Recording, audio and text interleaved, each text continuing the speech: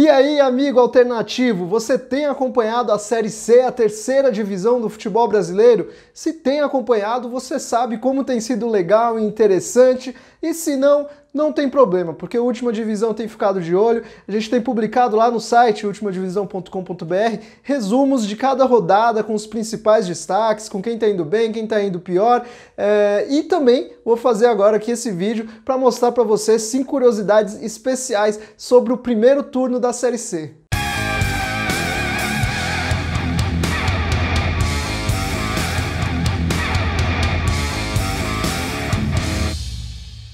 O melhor jeito para você acompanhar a Série C ou qualquer divisão do futebol brasileiro é baixando o aplicativo OneFootball. Acesse o link que está aqui na descrição, baixe o aplicativo OneFootball, configure lá da maneira que você quiser e aproveite também porque agora tem transmissão do campeonato alemão, da Bundesliga, tudo de graça para você. Aproveite! Esse foi o caso mais triste do primeiro turno da Série C, que foi uma briga lá em Manaus, no jogo entre Manaus e 13. O 13 acabou tomando um gol nos acréscimos, um gol do empate, é, e aí partiu para reclamar com o juiz. Até hoje eu não entendi bem qual foi a reclamação, se foi algo do lance ou se foi por causa dos acréscimos. O gol saiu já depois dos 50 minutos, acho que foi por causa dos acréscimos. Eles foram reclamar com, com o juiz e aí é, a polícia entrou né, para fazer aquela proteção, mas acabou brigando com os jogadores. Não dá para entender direito quem bateu primeiro, é, mas teve ali a agressão dos dois lados. Se você olha a imagem logo de cara, parece que foi realmente o, o goleiro do 13 que bateu no policial, o policial revidou, e aí depois houve gás de pimenta em cima dos jogadores. Mas também tem uma imagem em câmera lenta que dá para entender que o policial bateu primeiro, o goleiro revidou, enfim. De qualquer forma, seja qual for a sua opinião sobre o caso, fato é que foi muito lamentável, mas infelizmente marcou esse primeiro turno da Série C. Esse foi outro fato lamentável, mas foi legal ver o posicionamento do Ferroviário, que bateu o pé e protestou contra a CBF até quando deu, né? O time, é, antes de chegar para a partida contra o Paysandu, já se posicionou ali com uma faixa, posou para uma foto com uma faixa reclamando do fato de não poder usar o Castelão para os jogos seguintes. Aí quando a partida com o Paysandu começou, a partida até que o Ferroviário acabou perdendo, é, quando a partida começou, rolou também ali uns 10 segundos de paralisação com os jogadores de braço erguidos é, pedindo né, para que pudessem jogar no Castelão, mas a decisão da CBF é que só Ceará e Fortaleza vão utilizar o, o Castelão para, teoricamente, preservar o gramado, né? É, e aí o, os jogos do Ferroviário, inclusive do Floresta também, os jogos da Série D, foram transferidos para o Domingão, na cidade de Horizonte. Então a CBF deixou bem claro aí para os clubes que realmente não se importa, é, se importa muito menos com as divisões de baixo, com as divisões de acesso, né, com as divisões da Série C, Série D. É, lamentável realmente isso. É, vale explicar, inclusive, que outras opções em Fortaleza, como o estádio PV, não não está disponível porque foi transformado em, em, hospital de campanha e o estádio do Ferroviário está é, em obras. Então, por isso que os jogos foram transferidos lá para Horizonte, realmente um prejuízo ali, uma dificuldade de logística a mais para Flor, é, Ferroviário e Floresta. Agora sim, vamos falar de bola rolando, porque tivemos, tivemos sim jogões, jogos emocionantes. Sempre falo que Série B, Série C, Série D não deve nada em emoção para a Série A, né? E por isso que a gente é tão apaixonado aqui pelas divisões de acesso do futebol brasileiro. E rolaram grandes jogos, até o, o, um dos jogos agora que rolou bem recentemente foi o grande clássico Remo e Paysandu, que tende realmente sempre a ser um jogão, né? E dessa vez é, honrou a história dos dois clubes, né? No segundo tempo saíram os gols ali, o Remo Remo abriu 2 a 0, depois o Paysandu buscou 2 a 2 e no final do jogo o Wallace, um garoto formado na base do Remo, foi lá e decidiu a vitória para o Remo, que já não venceu o Paysandu desde 2018 e conseguiu essa vitória importante aí é, no momento que os dois clubes estão passando por turbulências, trocaram de técnicos recentemente, o Remo conseguiu essa vitória. Outro jogo muito especial foi entre Jacuipense e Santa Cruz, placar de 3 a 3, 6 gols no jogo e duas viradas.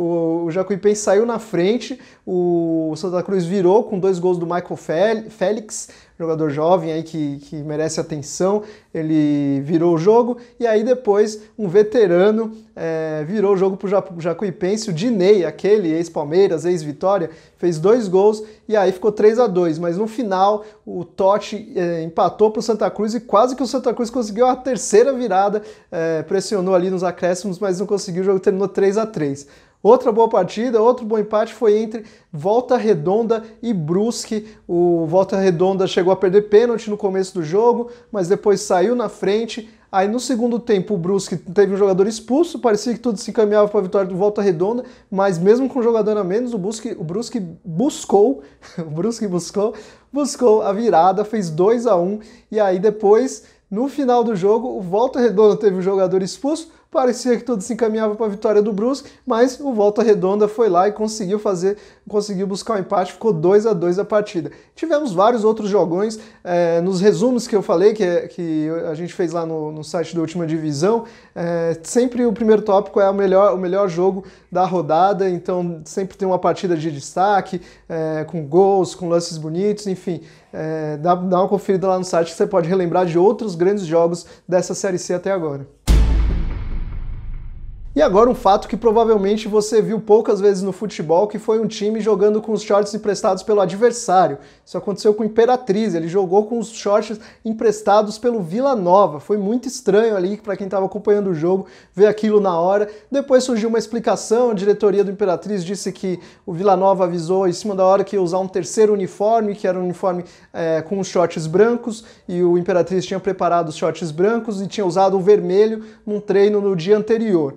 Explicação estranha, né? Porque normalmente é, você, os times é, têm os dois kits né, à disposição, é, isso não é uma coisa comum, mesmo que os times avisem em cima da hora, enfim, bem estranho. E é só uma ponta de um iceberg de um problema muito maior do Imperatriz que aconteceu lá porque o presidente resolveu ceder a gestão do futebol para uma empresa, JB Sports, que está fazendo uma bagunça lá no clube, não tem outra palavra para dizer, para definir, é uma bagunça realmente, várias contratações, foram duas trocas de técnico, várias saídas, é, e, e, o time, obviamente, a campanha tem sido horrível, né, com, com várias derrotas. Até o momento da gravação desse vídeo, é, foi um empate e seis derrotas, nenhuma vitória na Série C. Então, realmente, muito, muito vergonhosa a campanha do Imperatriz. E agora eu quero destacar um personagem dessa série C, que é o goleiro Agenor. Sim, aquele Agenor que já passou pelo Inter, Fluminense, nunca deixou muitas saudades, né? Mas está se destacando no Criciúma, inclusive como cobrador de pênaltis. Já fez dois gols pela série C, é, ninguém sabia muito bem desse dom dele aí, mas surgiu lá na, no Campeonato Catarinense, na semifinal contra a Chapecoense. Ele bateu um pênalti, bateu bem, os jogadores, os companheiros dele não bateram bem, o Criciúma acabou caindo, né? Dois jogadores erraram. E aí, quando começou a Série C, teve um pênalti é, que o Michel acabou perdendo. E no jogo seguinte, resolveram dar a chance para o Agenor cobrar. E ele foi lá e fez contra o São Bento. Depois foi lá e fez contra o Ituano também. Então já está com dois gols ali, é um dos principais artilheiros. É, e é chamado, está sendo chamado pela torcida de Agenoyer. Agora eu vou passar rapidamente aqui a classificação, até para comentar um pouco sobre cada time também rapidinho, mas quero só lembrar que a gente teve que gravar esse vídeo antes da partida entre 13 e Imperatriz, é, porque ficou um jogo muito descolado das outras partidas, né? Ficou para quinta-feira. A gente optou por, por fazer o vídeo antes.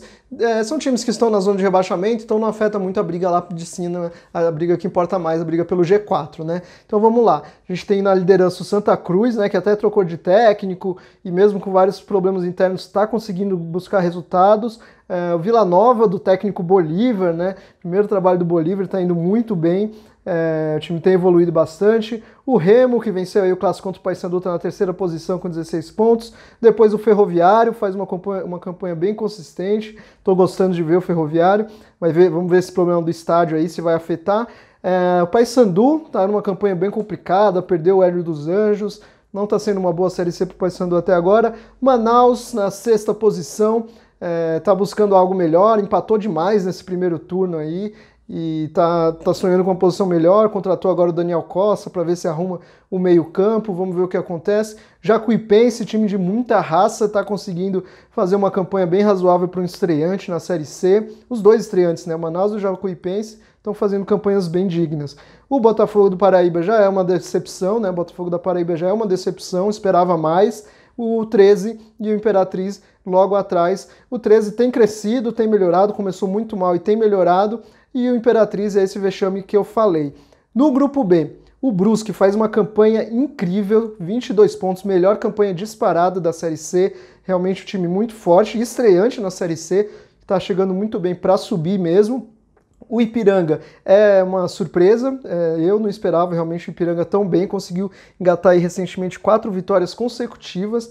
O Londrina está logo atrás, o time que foi contratando, foi se reforçando durante a Série C e está melhorando, deve chegar forte. O Volta Redonda decepcionou um pouco na reta final do primeiro turno, começou bem, mas tem decepcionado nos últimos jogos, perdeu o Saulo Mineiro, tem caído de produção. Aí tem o Criciúma, que é um time que tem sido bem irregular. Depois o Tom Bense, começou muito mal, tem crescido um pouco também, mas não dá sinais de que vai buscar pelo acesso, assim como o São José também, que às vezes consegue um resultado bom ou outro, mas não tem consistência para sonhar em cima. O Ituano é uma decepção para mim, uma grande decepção desse grupo. Esperava que ia estar bem mais em cima.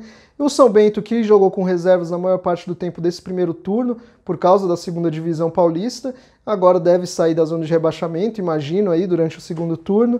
E o Boa Esporte, que é grande vexame, pior campanha do grupo 2. É, já teve troca de técnicos, contratou um monte de gente e nada tá dando certo por lá.